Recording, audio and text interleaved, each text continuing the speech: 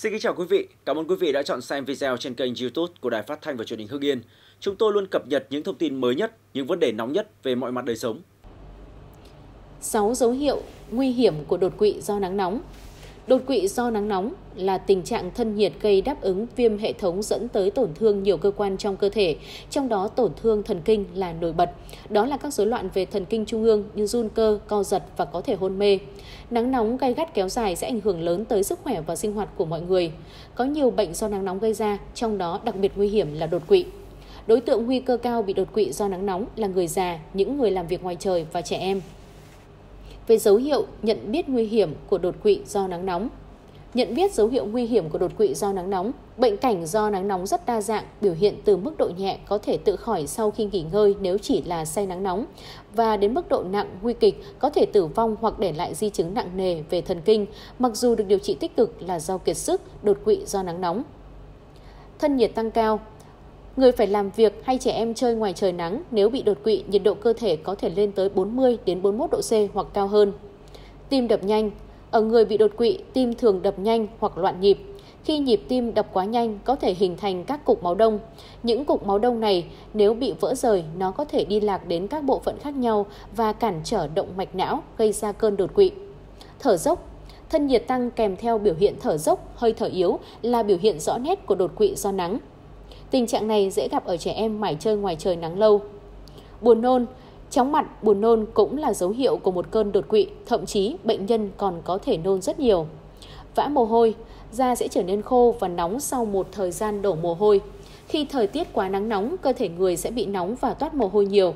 Khi thấy cơ thể toát mồ hôi nhiều kèm theo mệt mỏi thì đó là biểu hiện của đột quỵ do nắng.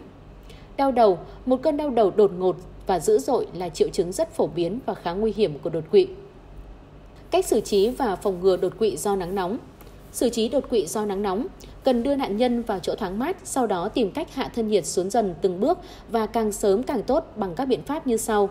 Đưa nạn nhân vào chỗ mát, cởi hết quần áo, chườm bằng nước mát khắp người hoặc phun nước hay nhúng cả người nạn nhân vào bể nước mát.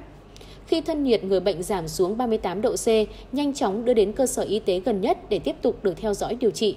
Bệnh nhân đột quỵ do nắng nóng cần được cấp cứu khẩn cấp, nếu không được điều trị kịp thời, người bệnh nhanh chóng bị hôn mê chỉ trong vài phút, thậm chí tử vong do thân nhiệt quá cao. Cách phòng ngừa đột quỵ do nắng nóng Mặc dù nguy hiểm nhưng đột quỵ do nắng nóng hoàn toàn có thể phòng tránh được bằng các biện pháp đơn giản. Không ở ngoài trời nắng lâu, nhất là vào những giờ cao điểm nắng nóng từ 10 giờ sáng đến 4 giờ chiều. Tránh làm việc lâu khi gần các nguồn nhiệt nóng như lò nung vôi, gốm, lò rèn. Mang đủ mũ nón trang bị bảo hộ lao động cần thiết phòng tránh nắng nóng cải thiện môi trường làm việc, thông gió, thông khí, không làm việc hoặc có những hoạt động gắng sức ở ngoài trời nắng khi cơ thể mệt mỏi, ăn uống không đầy đủ, cơ thể đói và khát. Cần đội mũ nón rộng vành khi đi ngoài trời nắng. Với người già và trẻ em, cần lưu ý việc thay đổi nhiệt độ khi ở phòng lạnh đi ra ngoài, cơ thể rất dễ toát mồ hôi đột ngột, tình trạng này sẽ nguy hiểm cho người cao niên.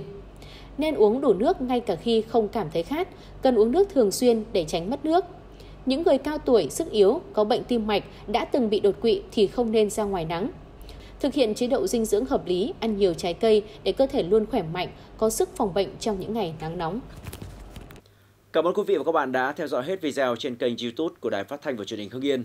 Nếu quý vị thấy hay, xin hãy bấm like và share tới bạn bè người thân của mình để chia sẻ những thông tin hữu ích và đặc biệt nhấn sub để nhận thông báo về những video mới nhất của chúng tôi. Xin cảm ơn và kính chào tạm biệt.